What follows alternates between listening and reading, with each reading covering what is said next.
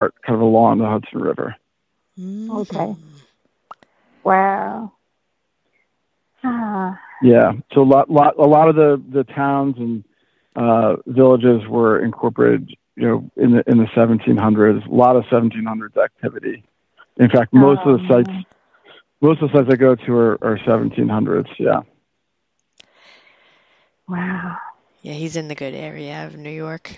Well, actually, there's a lot of good area of New York, so I can't. Uh, but actually, it's funny because that's where my mom's side of the family all is. So, Is it? yes, yeah, got to get back up there eventually.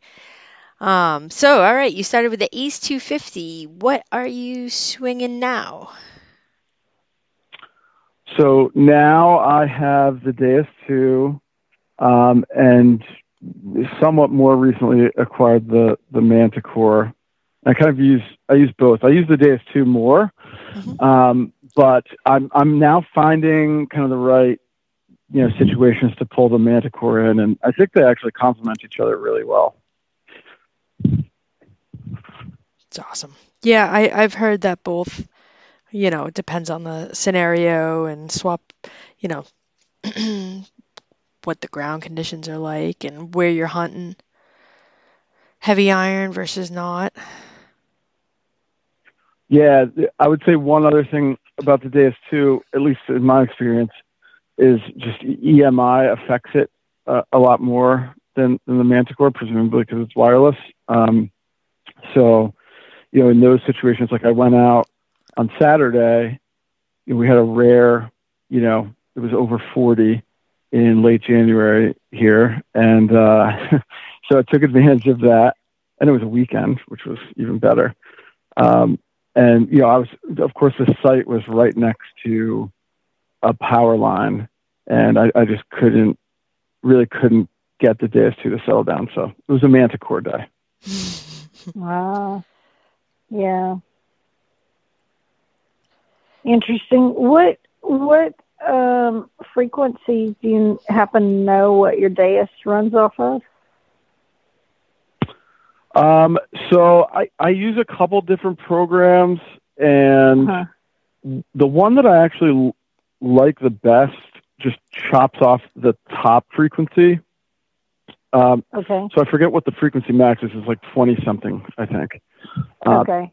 So, okay. e- but even with that, even with even with tailoring off some of the frequencies, it still still can be a little. And I've seen this at other sites too. But uh, okay. but yeah, Cool. All right. So, um, do you have a favorite finds you found with your Deus, and then vice versa with the Manticore? yeah. Well, so you know, everyone always asks us, right? This is this is like the quintessential question when Right. when somebody finds out metal detect.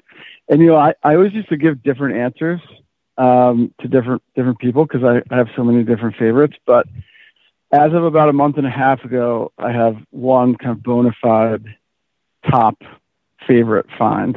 Um, and and I'll just tell the story super quick. So I was I was in a field. This was I don't know. It was, I would say an ordinary 1700s field, right? So there was there was a lot of a lot of coppers from the late 1700s buttons. I think I I pulled like eight or nine coppers out of this field, pretty big field this this year, um, and was doing some exploring. Found a found a kind of a new area. Uh, got a shoe buckle, some some buttons. I think I got a matron that day, and was heading back to the car, like fully satisfied. You know the feeling. And on the way back, this is always how it goes, isn't it? Uh-huh. on the walk back to the to the car i'm swinging. And i actually i went over it was over an area where a buddy of mine uh, had gone over a couple weeks prior. And i thought to myself man this this is a kind of a high signal. You know it wasn't perfect. So you know pro- you know maybe not round or or you know uh, maybe corroded or something like that uh, i said you know what i got i got to dig it it's a high tone in this field you know, I don't, I wouldn't want to pass over it. So I start digging. It's, you know, I, I had my, my shovel or spade at the time, maybe was like, I think, um, seven inches, uh, maybe a little bit longer, and it was still in the hole. So I got down and started feeling around, pinpointer, all that good stuff, and felt something sticking out of the sidewall. And, you know, like often you do that and it's like a nail, right? A lot of these areas have just mm-hmm. tons of nails everywhere. Right. You pull them out of the sidewalls. That's not even the, the, you know, the thing that you were, that you were looking for that, that set the detector off. Uh, but I, I pulled it out and I literally remember the thought in my head, damn, it's a nail. Like, it got me. Uh, but I kept pulling it out of the sidewall. And eventually I had a, a, a four, four and a half, I think, or so inch copper spear point in my oh. hand in the hole. Oh. and in my head, right, like, why did this set the detector off? You know, there's so many things like you, you almost can't believe your eyes or your senses uh, as to how this thing got to where it is. Uh, and of course, I, I started like messaging a bunch of buddies right there. Uh, I couldn't believe it. It's, it's all in one piece. And of course, learned a ton more about this. But uh, ultimately, you know, the New York State Museum, uh, you know, kind of analyzed it and found that it was from 3,580 to 8,500 years before present. It dates to the Archaic period. What? That's awesome. Yeah. Oh so, like, you know how God. often you, you you put yourself in the shoes of the person who kind of like lost whatever you pick up, and like that's part uh-huh. of the fun of it. Uh-huh. This just Uh-huh. this just brings that to a whole new level. Absolutely does. Uh, I've got a weird thought on that, uh, Brandon. I was just thinking, you know, I've been working with a lot of psychics lately. It would be so cool to have a psychic hold that and see what impressions they got. Oh my gosh. Anyway, sorry. Yeah, no, that that would be so cool. I just the the whole concept of it and learning about you know how people lived at at this time. Uh, yes, I see in the in the chat copper culture. So I, I guess from what I understand and what the New York State Museum had shared, you know, this copper came from the Great Lakes region, and to Mhm. find it this far east is is somewhat rare, rather rare. Um, and they're kind of connecting the dots between the, around these like long distance trade routes that used to take place back in the archaic period. So really just fascinating. And I could probably read just about this find, uh, you know, for years to come. But so that is my, that is my top favorite find story. Well, definitely, man, that's neat. Uh, Brandon, I got to go up to um, Michigan, up in the um, what do you call that?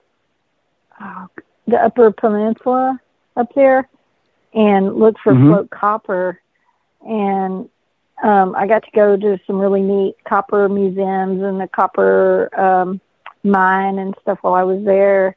And as they say, it migrated from there. There's a lot of people, yeah, that, that you know, detect in that up in that Great Lake area that find those pieces from those, you know, those really old. Oh, that's that's just amazing that you found that. And uh, Yeah. yeah, just thinking about that journey, like you said, it could have come in from um, a trade route, or you know, you never know. Um, that's kind of what, well, uh, kind of what I want to talk about on in my next book. Um, so I might have to do a little interview with you later uh, about that. Oh, I, so. I would love to. You can send pictures. I have pictures on my Instagram as well of, of that one. Um, Okay. But yeah, we'd be we'd be happy to help. because it's definitely um, something that reoccurs a very often and is found in some of the oddest states. Um, that you would never think that there's a lot of relics and artifacts that get in these fields that are much much older. Um, anyway, that's a whole nother story. But that is really really cool. That's that's epic, Brandon. Congrats. Yeah, once in a lifetime for sure. Definitely, definitely. Now, where you're detecting, do you do cornfields or anything like that? Yeah, th- this one was uh was uh, you know a hay field, but uh, yeah, I do cornfields, hay fields, woods. Um, I don't you know love them all in different ways. You know, there's different different aspects to each of them that are that are appealing. Certainly at different times of the year. Yeah, yeah, absolutely. So when you're out there uh, metal detecting, do you do any like arrowhead hunting, like keeping your eye on the ground for any arrowheads or beads or? I do, and I've I've never I've Not never yet. found one. Not Um, yet. Yeah, not yet. That's an area I would love to get into, especially now because it's just pe- it's piqued my interest, you know, uh, Mhm. so so kind of intensively. But uh, between that and like and learning really kind of the, the art of uh, bottle digging too, um, I, would- would love to get into both of those things. Well, if you ever make a trip to Maine, I got a few bottle dumps. I seriously, I may may take you up on that. Yeah, absolutely. Absolutely. Gypsy, you've gone a couple times with me now. Um, Yeah, yeah. Got- I There- have- There's some neat, neat old bottles over there. a lot older than what we find here in Texas. That's for sure. absolutely. Absolutely. So, um, let's see. What else we got? Um, so that's your favorite find. Do you have like I know some people do wish lists or bucket lists or a white whale. Do you have one um, that you'd want to share with us? Yeah, I, uh, I at this point anything capped bust, I I really would love to find. Um, you know, I I, I do. I, of course, I love finding coins. I love finding all sorts of different things. Uh, but this has evaded me for a while, and I I don't find a ton of silver on the sites that I'm fortunate enough to have permission to. Um, Mhm. so just ve- very much looking forward to that first cap bust uh, coming out of the ground. Yeah. It's a nice oh looking man, coin. yeah. So that that's that's pretty much your white whale. What you want to find? Cap bust. Yeah, yeah, I, I think so. Right now, you know, it, it changes over time, uh, but Right. that that would be that would be pretty thrilling for me. Awesome.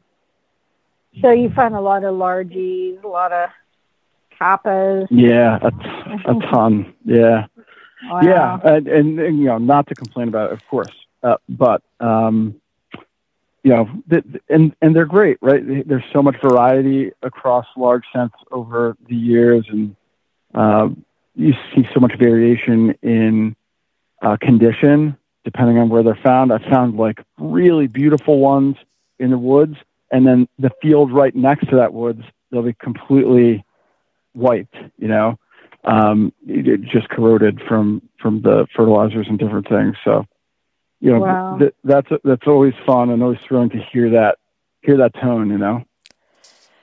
Right. So um, you get to metal detect with some friends occasionally uh, instead of just getting out alone, right? That's what you were saying. You were with someone. Yep. That's yeah, always it's always nice. better. It's always better, you know, in a group because then you can. I don't know. I, I always feel that way because you can celebrate each other's finds. It's almost like I've got you know two machines and I'm I'm swinging it. I can celebrate twice as much.